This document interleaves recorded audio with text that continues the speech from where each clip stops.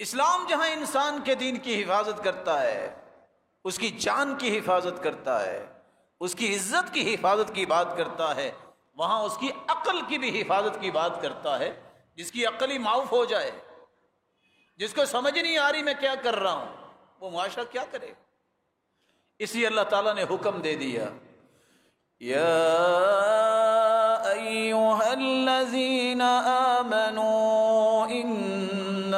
अय्युहल्लज़ीन आमनू इन्नमल खम्रु वल मैसिर वल अंसाब वल अज़लामु रिज्स रिज्सुम मिन अमलिश शैतान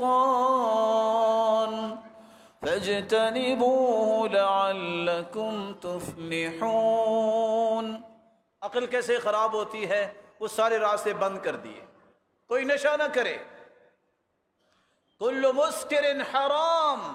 हर नशावर चीज़ हराम है।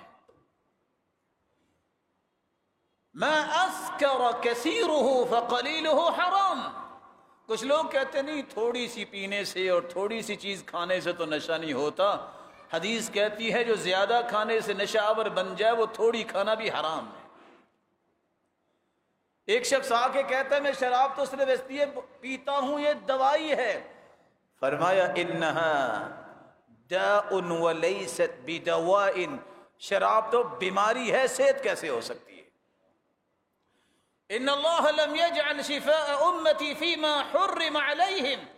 जिस चीज़ को अल्लाह ने हराम करार दे दिया है, अल्लाह ने उसमें शिफा रखी ही नहीं उसमें शिफा नहीं।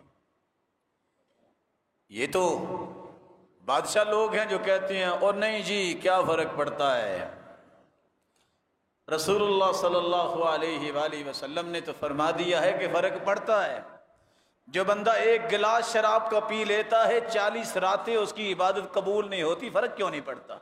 इन चालीस रातों में तौबा न करे, मर जाएगा, पेट में अगर शराब है तो जाएगा किधर ये?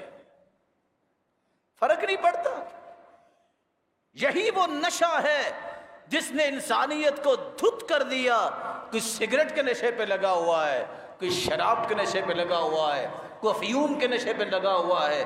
न जाने गलीज नाम कैसे कैसे में तो सारे नाम भी नहीं आते। अल्लाह ताला हमें इस तरह की बातों से हमारी आल औलाद को ज़िंदगी की आखिरी सांस तक दूर रखे। और कितने पढ़े लिखे लोग हैं। अल्लाह ताला उनकी पढ़ाइयों को सलामत रखे और उनको इस पढ़ाई का फ़ायदा लेने की भी तौफीक दे।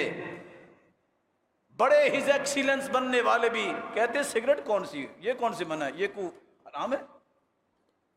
वला तुल्को बेदी को मिले तहलुकती वाहसिनो। अपने आप को हलाकत में ना जानो। 19 साल की रिसर्च वर्क के बाद ये पता चला सिगरेट नोश को 18 बीमारियाँ लगती क्या हालत उसकी होती है? मैं इस बात पे हैरान हूँ। अल्लाह ताला हमें मुआफ़ फरमाए और हम जैसे मुसलमानों की कमज़ोरियों को दूर फरमाए, ऊपर लिखा होता है सिगरेट नोशी। आगे क्या लिखा होता है? मुजर्र सेहत है। फिर भी पीते हैं। फिर भी पीते हैं कि यह सेहत को खराब करेगी। नशावर चीज़, शराब है। आज बड़े बड़े कारोबार जो होते हैं, बसद एहतराम मेरी बात का जाविया दीनी रखिएगा, किसी पे अटैक न समझिएगा। बसद एहतराम। सबसे ज़्यादा कारोबार की तरफ़ को पैसा लगाने वाले जालिम जो होते हैं, वो इस तरह के कामों में पैसा लगाते हैं कि यहाँ प्रॉफिट ज़्यादा आएँगे। दस चीज़ों पर लानत भेजी अल्लाह के रसूल ने लान अल्लाहमरा शराब पर भी लानन पीने वाले पर भी लानत पिलाने वाले पर भी लानत, बनाने वाले पर भी लानत, बेचने वाले पर भी लानत, खरीदने वाले पर भी लानत, जिसके लिए लेके गया है दुकानदार पर भी लानत, जो लेके जा रहा है उस पर भी लानत, हर चीज़ पे अल्लाह के रसूल ने लानत की। मलून चीज़ में भी बरकत हो सकती है। एक सिहाबी ने अपनी सवारी को लानत कर दी। अल्लाह के रसूल ने फरमाया, इसको पीछे करो। ये सवारी मलून है। अल्लाह की रहमत से दुदकारी हुई है। ये मेरे लश्कर में मेरे साथ नहीं जा सकती।